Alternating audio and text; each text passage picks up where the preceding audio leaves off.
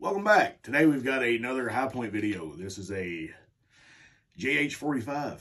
This is a little bit different than the last uh, Hi-Point we did. This one's got a mag release on the bottom, which is not ergonomic at all. If you had to do a fast reload on it, you would probably just, you would lose for sure. Uh, it's an old one.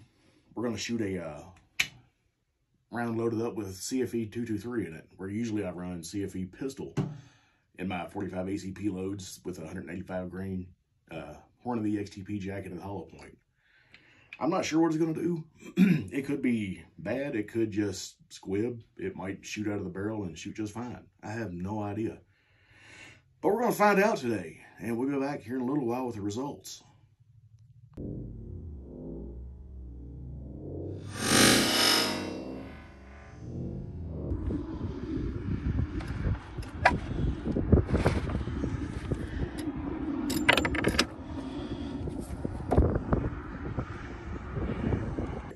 Yeah, that was really uh that wasn't exciting at all. Nothing happened. It just just barely heard it when I when the trigger pulled. I thought that we'd hear at least a bang. There was not even that. You hear the striker fire, and that was it. It did nothing else. It squibbed pretty good, like almost a perfect squib.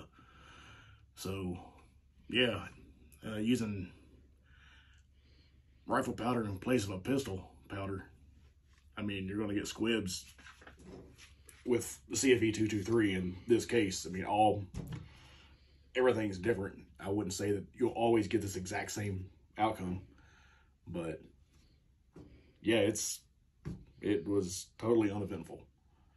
So uh, if you like this video, give us a thumbs up, subscribe, and we'll see you guys next time.